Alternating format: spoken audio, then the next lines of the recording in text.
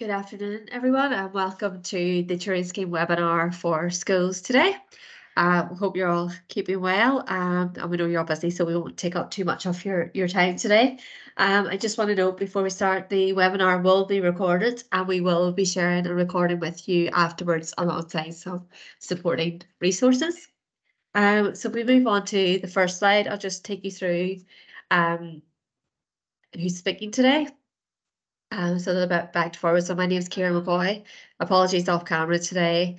Um, my my internet isn't great, and I also don't look the best with the cold today.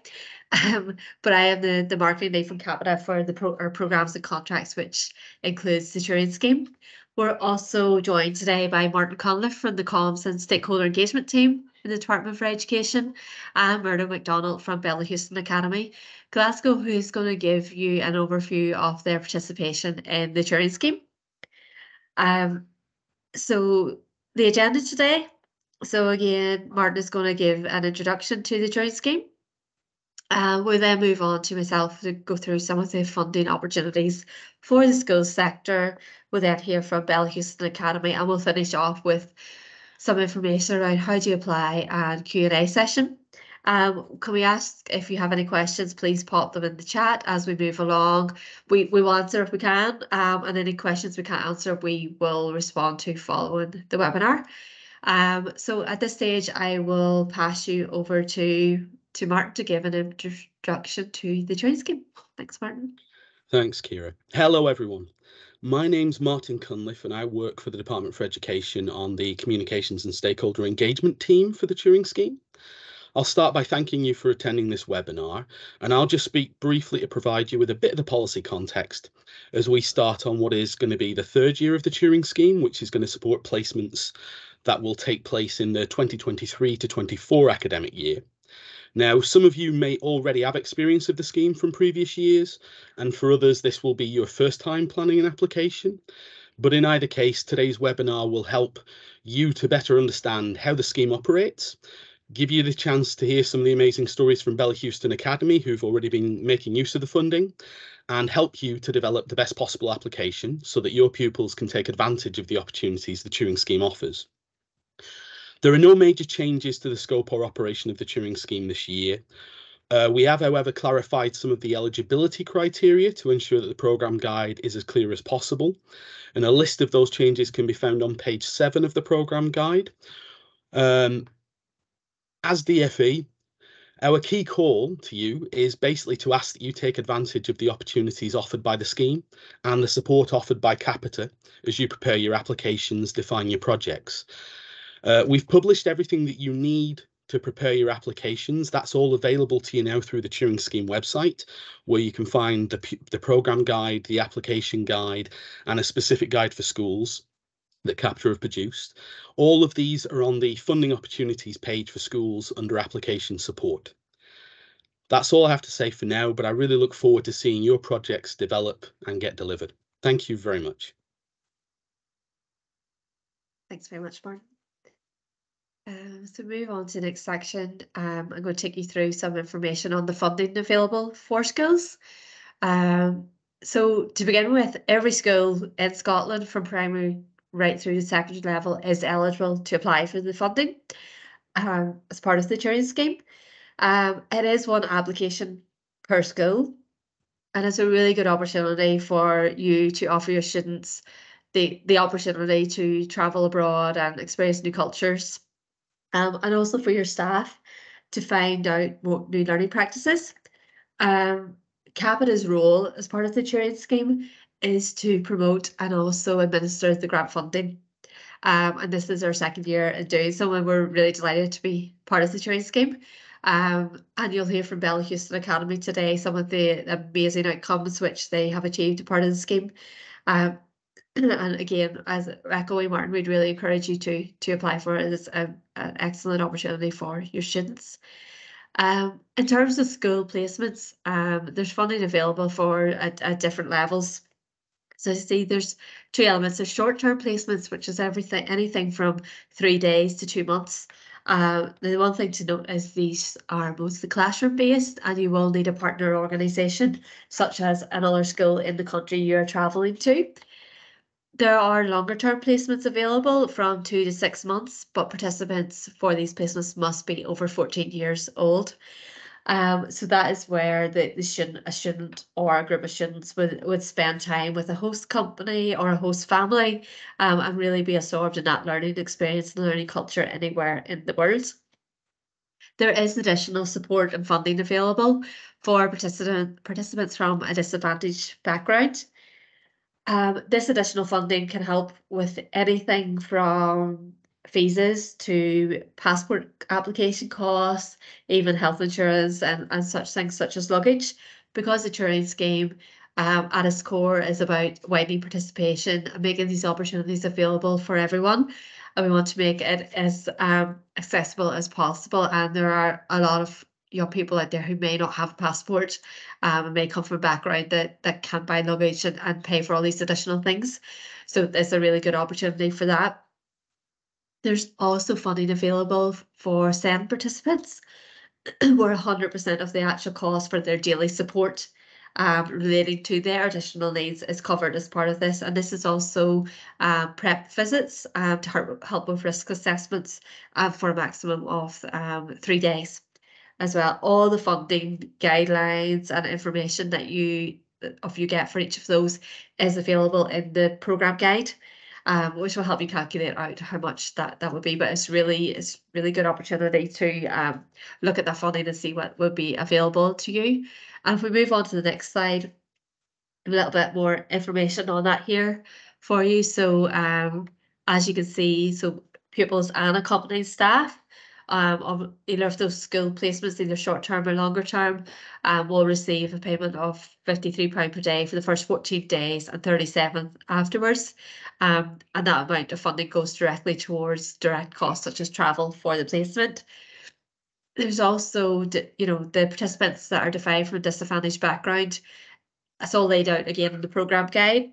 You'll probably hear me saying a lot to, to refer to that. But again, that covers all your additional travel costs.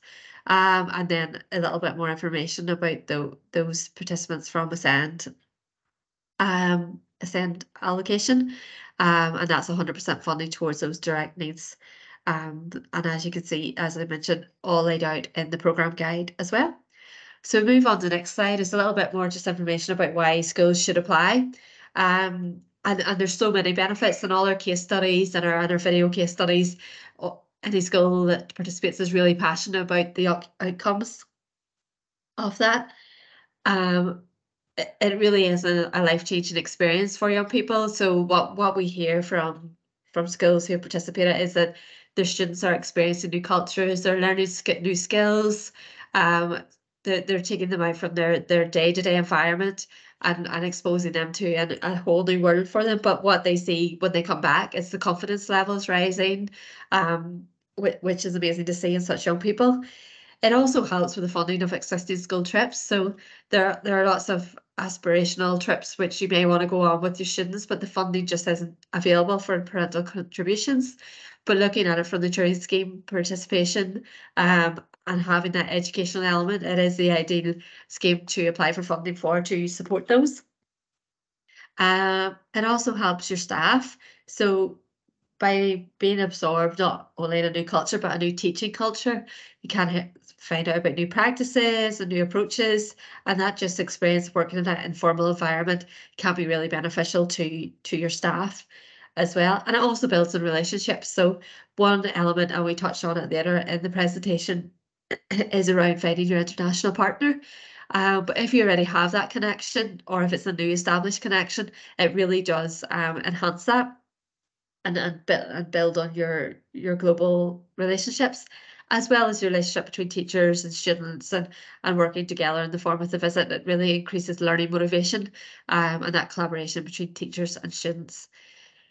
Um, and if we're moving on um, I'm now going to pass you over to Murdo McDonald from Bellahouston Academy um, who has joined us today to share with you their experience of the, the Turing scheme. So pass over to you, Murdo. Thank you.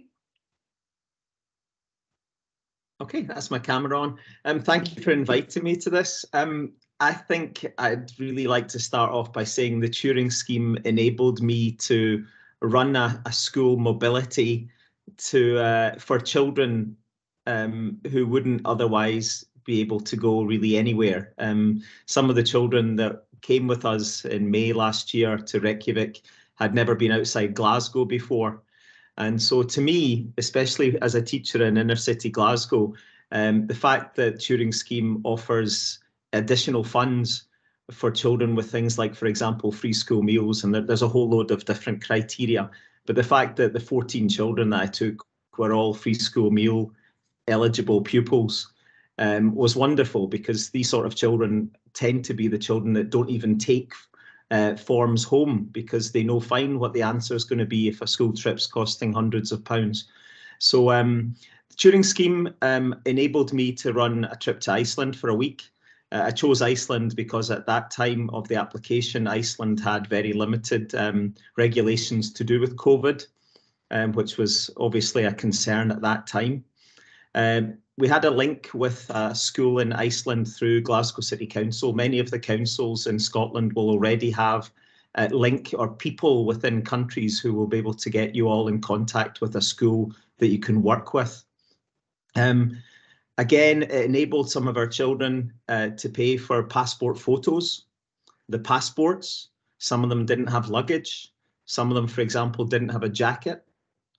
Uh, it enabled us to uh, when we were in Iceland, go with the Icelandic pupils on a visit to see geysers and waterfalls and tomato farms in the Arctic Circle, which was quite incredible.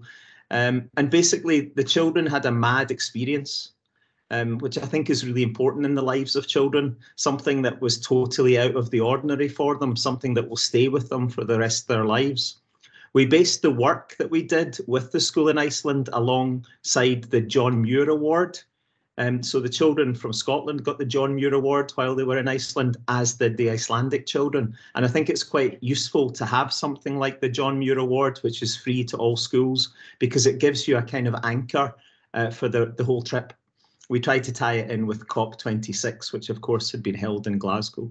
So I think you should all have a good look at um, the Turing scheme. There isn't that much time to apply um, for funding, but I think that the people in Turing, we had quite a lot of help to and from uh, Turing. We had a lot of help from the council, and I'm willing to help anyone who is who is running trips free to um, to children who need something like that in their lives. So thank you very much for inviting me along. Thank you. Thank you, Murdo. Um, so so refreshing to hear how passionate um, your school has been about Turing. And any questions for Murdo, please put in the chat and we can address afterwards. Um, so we're going to share with you now some information around how to apply for the Turing scheme. Um, so the application is completely online. Um, we do have a slide later on on the timeline, but applications opened officially on the 14th of February and they close on the 6th of April. So four weeks tomorrow until the until they close. Um, but there is a full application guide on the Turing Scheme website, and we'll also share the link with you afterwards, which takes you through step-by-step guide of the form with also some hints and tips. Um, there's four sections as such, which we which are listed on the um, right hand side of the screen, uh, from international engagement right through design and implementation, with a series of questions within each section. Each have a, a maximum score between 20 and 30. Some of the questions are narrative with a 500 word limited limit on those. Um, but again, further guidance on what should be written in each and some tips from feedback from previous year is all within the application guide. Um, we'll also hope to have an application guide video coming soon. Once the application is submitted, um, they are then passed to our partner, the Association of Commonwealth Universities, who does an independent assessment of the application form um, and scores, etc. Um, and that that is uh, thoroughly checked and gone through uh, according to the scoring criteria. Um, again, application guide is definitely your best resource to look at this. Um, we have some hints and tips as well for your application. One of the things is um, to, to prepare as much as possible and, and speak to your staff, etc., um, to cross-reference between um, different answers rather than, than repeating yourself. And also just be really clear on your, your disadvantaged students um, and all that criteria is all within the programme guide as well around eligibility and information that. So if we move to the next slide, please. Um, we just wanted to highlight some information around finding an international partner. We know from feedback that this can be quite difficult sometimes um, if you don't already have international established um, links. Um, we have a blog online with some hints and tips on how to do this um, because it needs to be a, a, so if you're traveling to a country such as um, Spain, it will need to be a school or an education establishment in that country. Um, but um, as Murdo spoke about, he went to the, the Glasgow Council. That's a, a really good um, option if you're trying to find an international partner, and don't have one. So speak to your local authorities, speak to your local councils, speak to your universities. Um, look at any previous relationships you may have had with international organisations which possibly have fallen to the wayside. Um, and also I would look at our previous case studies.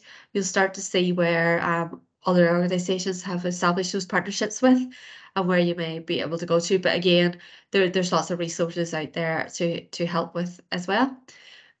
and if we move on to the next slide, this is where we touch base on some of the top tips for a successful application. Um, we have a range of resources, and I know we've mentioned those a couple of times now. Um, but the program guide really is like your your bible for the turing scheme it has all the information you need to know um, right through from eligibility through eligibility criteria through to all those all the funding information um, it really is a, really good place to check what we also have available is a schools guide uh, for the turing scheme which pulls out some of that information, um, some of that key information, and it's quite good as a, as a first glance and then refer back to the program guide. Um, we also have the application guide, as I mentioned, which is really good, and our FAQ section on the website. Um, if you can't find the answers you need to in any of those, we do have the a service centre as well, who you can email. Um, and this feedback comes from the, the Association, Association of Commonwealth Universities and also some of the, the previous applicants. One of the um, hints and tips that we were given was know your priorities. So look at the scoring um, criteria and application guide and focus more so on where those uh, criteria and, and where those uh,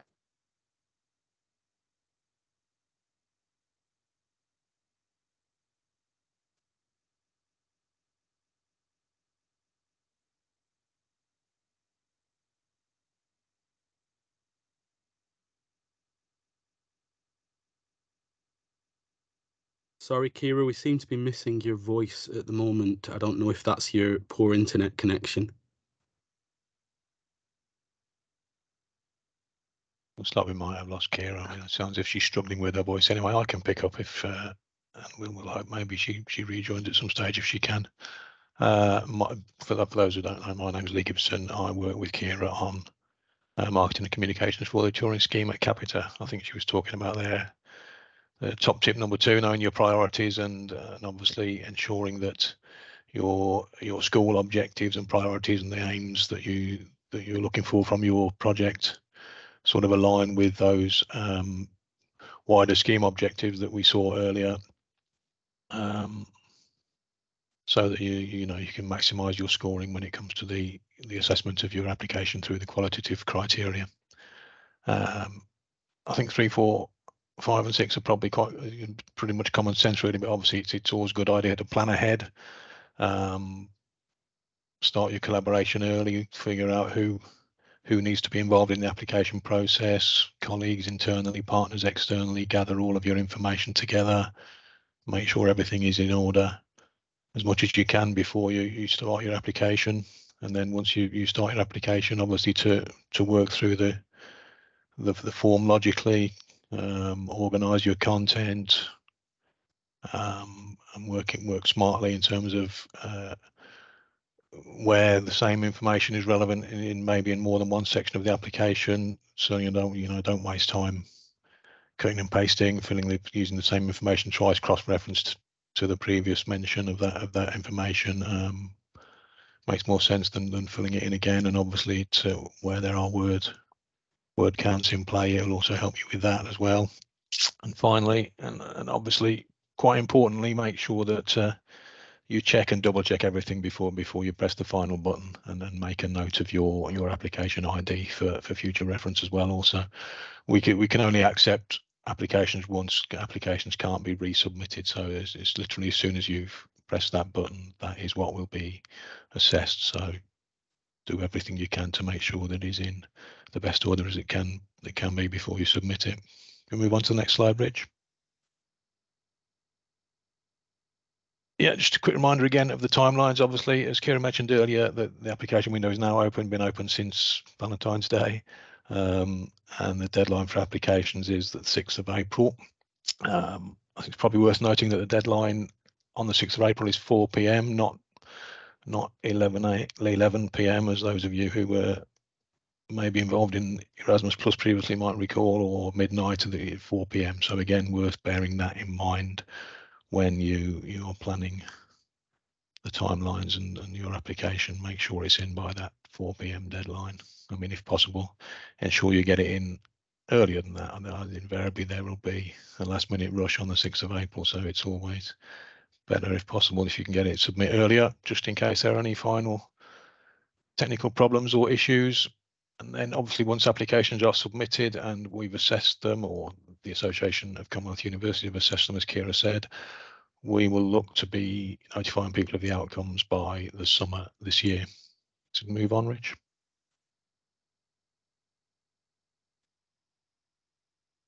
Okay, again, as Kira said, we have mentioned these quite a number of times now, but it's worth pressing the point home that there are a number of resources available to help you um, work your way through the application process and submit your application. We've mentioned the program guide multiple times, and it really is the the essential go-to document for anyone who's intended to apply, as, as Kira said, because it has all of the information uh, um, relating to eligibility, relating to the application process, detailed information about how you will be your applications will be assessed and the funding available, etc., etc. Uh, the application guide, again, we've mentioned several times, that's uh, obviously designed to support and, and walk you through the uh, the application itself, and there is in, included in there a step-by-step guide um, of, uh, of how to fill in the application form.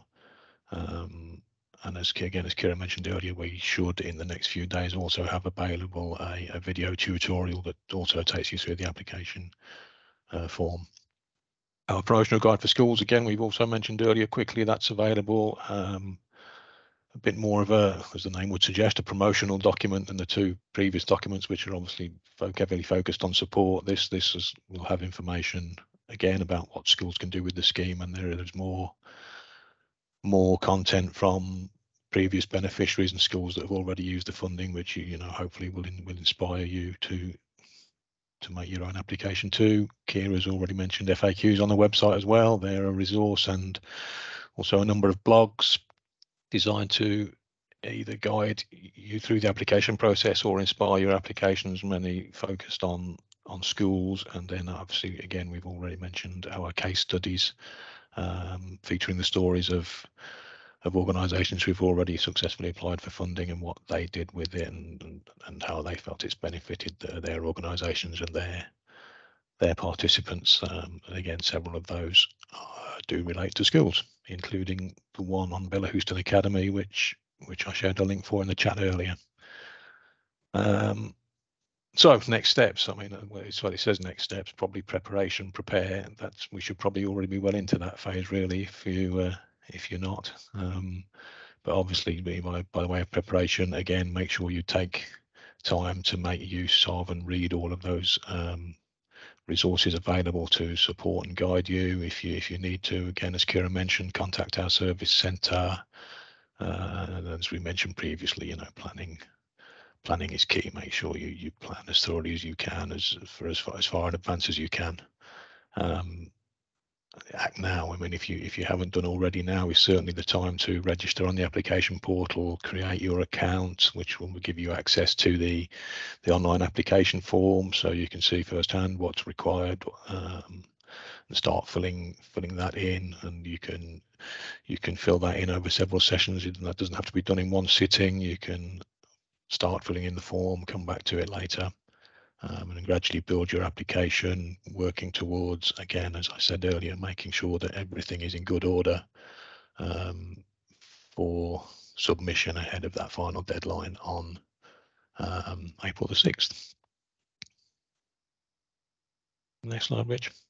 Okay, well, that that is it from us to you today. Um, all that remains is to uh, I think thank again everyone who's taken part. So thank you to Martin from DFE and to Murdo from Bellahouston Academy for for attending and contributing. Um, we have got some time to take some questions. If there are questions, um, we will do our best to answer them. And as we've said previously, if we can't answer them today, we'll take them away and consult our operational technical colleagues if that's the nature of, the questions to see if we can get answers to you subsequently either either directly or via our, communications channels or adding them to the FAQs that were mentioned earlier, etc., etc. So I don't know whether there are any questions specifically for us. I see several for Murdo, which he's done, which he's already answering in the, in the chat feverishly. Yeah, we can see there's uh, one person typing currently, uh, but I think that's the only uh, the only question coming through at the moment. I, would, uh, I was just going to come in and pick up on a couple of the points, kind of more generally in the chat, and it's just it's more fundamentals, but again, talking about selecting pupils, talking about how big a project. Now, obviously, the Turing scheme is very scalable. You could be sending one group to one destination or multiple groups to multiple destinations. There's no right size. Your project needs to be the size it is to support the pupils that you can send abroad with the accompanying adults, etc., in order to deliver the outcomes that you're looking for. So if you want to send larger numbers, you can. Smaller numbers, it's fine. It's it's really wide ranging. And again, we're UK wide. There is no split ac across the nations in terms of the funding you're it's a competitive scheme so uh, apply for the funding you require and if your applications are successful then we'll give you as much of that funding as we can. And generally with the applications the one thing i'd say and some of the stuff that murdo said in the, the chat kind of really goes to this in terms of how they selected participants and stuff is be specific. Uh, particularly understanding obviously we will receive applications from schools across the UK and British Overseas Territories. We don't necessarily know all of your local circumstances, so it's often really useful to explain the context in which you're operating, particularly around levelling up and understanding the level of disadvantage in your student cohort, for example, how you might be identifying and working with different student groups in order to ensure that you're widening participation, in order to ensure that you're providing them with the support that they need before, during, and after. And so I think a lot of the things he's talked about there in terms of how they selected the pupils, etc., it's really good. And that's the kind of uh, detail that really can help your project work strongly so that we understand how you're going to um, enact the project and actually achieve all of those aims and objectives. Um, just to say, there's also a question on, uh, I see from Mrs. Hook on uh, how long are the projects expected to last around the visits? Now, obviously, uh, as we covered right at the start, you can have short term and you can have long term opportunities. A project will work across the academic year, but when you have sent your last mobilities, that will be essentially the start of the end of your project. And then there is a period where you get to do your final reporting, etc. But we provide the opportunity for you to scale it quite heavily depending on the the applicate the the particular pupils that you're sending and how long that you're sending them for. Again with the scheme we provide flexibility so there is no right answer there is no correct uh, kind of size or duration. It's really about the activity that you are, are looking to deliver for your pupils and what's necessary to achieve that and making sure that you obviously quite often in terms of numbers the main restriction is the accompanying adults and making sure that you've got enough teachers who can be accompanying them. That's the main thing that will limit you in groups. But otherwise it's really very much a case of uh, if your project's two weeks, if your project's four weeks, all of this can be considered, etc. And then also I noticed we've got a question from uh, Joanne Scobie. Uh, preparatory visits are only funded if SEND pupils are involved in the project, yes. However, I would note if you feel preparatory visits are necessary, one of the things that the scheme provides is organisational support funding, and that is £315 per participant for the first 100 participants. And that funding is to support you in the administration of the scheme. But again, as part of that, you are entitled to use it for preparatory visits if you feel that they are appropriate and you could fund it with that amount of funding. So it's not additional funding unless it's SEND, but we do provide that administrative support in order that you can do all of the things around the edges of the project to make it happen and make yourselves comfortable in terms of the environment you're sending your pupils to.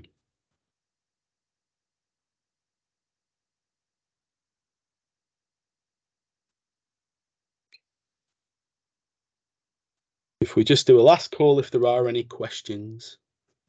But again, as you're going through your applications as well, uh, as we say, you know, uh, Capita does have the service centre and everything. You can reach out for support if you've got any questions, if you're cautious how you might interpret a particular question or you wanted to check, you, you can uh, make sure that you're filling things right in by contacting them. Okay. Thanks very much and thanks, Lee. Great, thanks, Martin. Certainly a couple of questions I couldn't have dealt with off the top of my head there. Um, great. So we've still got one person typing, so we'll maybe see what that is. But if there are no further questions, we can probably let you get back to what I'm sure are your very busy days. Thank you very much for your attendance once again. Good luck in with your applications. If you do, hopefully go on to apply this year and, and thanks again to, to Martin and Murdo for, for their contributions. Thank you very much.